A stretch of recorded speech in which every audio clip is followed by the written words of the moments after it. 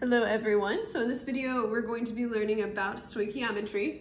And specifically, we're going to be learning about how to go from grams of one part of an equation. So for example, in this problem, we're starting with grams of C2H4, two grams of another part of the equation. So I want to know if I start with four grams of this, how many grams of water will I produce? So this chart is a map that can help you get from grams of one thing to grams of another thing. So let's just look at this for a second. Um, you'll notice on the left, we have the letter A after our units. So grams of A, moles of A, particles of A. A represents the molecule or compound or element that we're starting with. So in this problem, we're starting with four grams of C2H4, that is A. And then whatever we're trying to get to, so we're trying to get to grams of H2O, that is B. So you'll notice the right half of my chart has moles of B, grams of B, and molecules or atoms of B. So we need to figure out where we're starting in the chart. So it looks like we are starting with grams of C2H4. So we are starting with grams of A, and then we are trying to get to grams of B. So we are trying to get all the way to this oval over here. And we have to follow the path. There's no shortcut to go straight from grams of A to grams of B. We first have to convert A into moles, so we're gonna use the molar mass. Then we go from moles of A to moles of B using mole ratios. So this is what we talked about earlier, where we can take the coefficients of an equation and make a conversion factor out of them. So that's how we get from moles of C2H4 to moles of H2O. And then we would need to convert from moles of B to grams of B. So let's see how this plays out in the problem. So we're gonna set this up. We're starting with four grams of H2O. Um, really important that you write both grams and the element or compound or molecule that you are dealing with. So we're starting with grams of H2O and then we know since we need to go from here all the way over to grams of B, we're gonna need three conversion factors. So I'm gonna leave space for one, two, and three conversion factors. All right, so my first conversion factor is going to be the molar mass.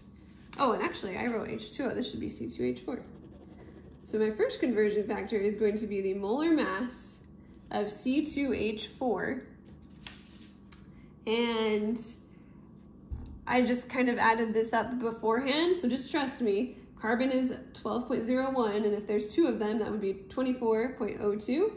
And then hydrogen is 1.01, and there's four of those. So if we add that all up, we end up with 28.06 grams of C2H4 per one mole of C2H4. Grams cross out. And then we have gone from grams of A to moles of A. So we've got one mole of A over grams of A. We're just following this conversion factor. Um, our next conversion factor is going to be using the coefficients of A and B. So remember A is C2H4, B is H2O. So if we look at the coefficient of C2H4, which is gonna go on the bottom, we see that it's one. So on the bottom, we want one mole of C2H4, that will cross out moles of C2H4. And it turns out for every one mole of C2H4, we would produce two moles of H2O. So we'll put two moles of H2O up top right there. And then uh, we need to get to grams of H2O. So we would go from moles of H2O to grams of H2O. so we would put on the bottom one mole of H2O. And then on the top, oxygen is 16 and hydrogen is 1.01. So we add that up, it would be about 18.02 grams of H2O.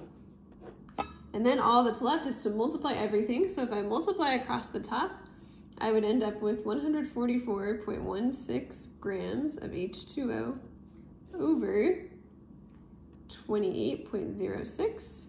And then I would divide that, and I would end up with 5.14.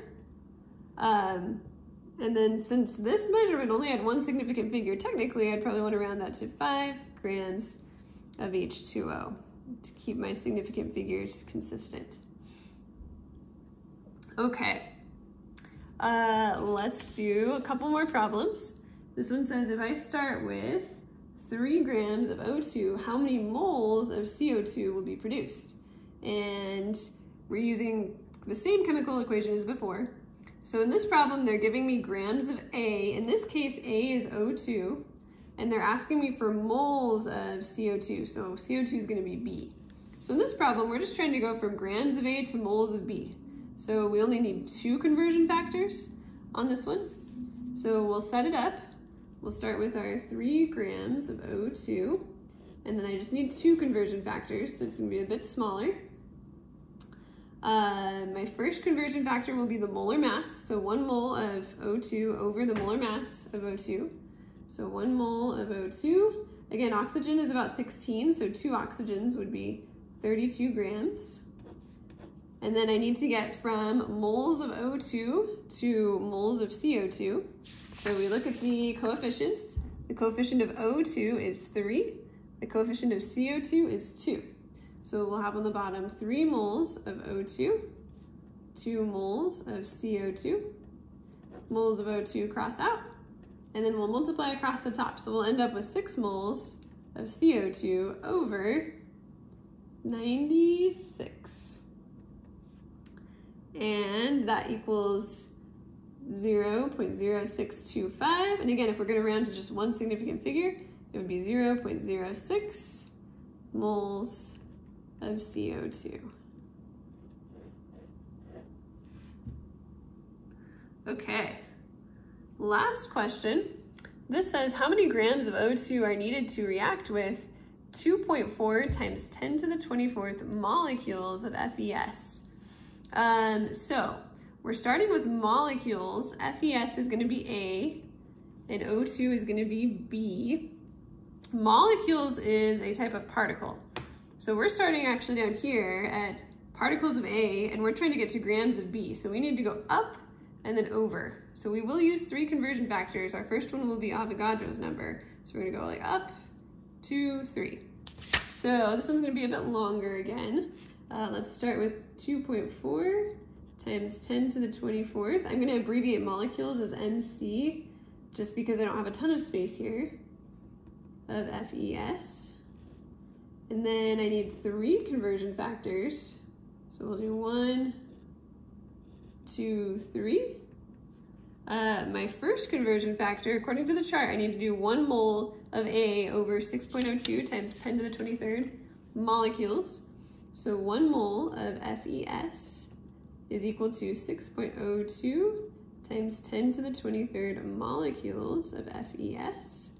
So molecules will cross out. Now I need to get from FES to O2, so I need to use the coefficients. So we look, we see the coefficient of FES is 4, so 4 moles of FES is equal to, or you need 7 moles of O2 to react with 4 moles of FES. So moles of FES cross out. And then I'm trying to get 2 grams of O2, so I just need to use the molar mass of O2. So one mole of O2 is 32 grams. And then if I multiply across the top, I'm gonna get a number in scientific notation. So 5.376 times 10 to the 26th grams of O2 divided by 2.408 times 10 to the 24th. If you do that, you're gonna get about 223.26 uh, if we want to round that to two significant figures, we could just round it to 220 grams of O2. All right, so that is stoichiometry. Again, stoichiometry is the process of converting from grams of one part of a reaction to moles or grams of, or particles of another part of a chemical reaction.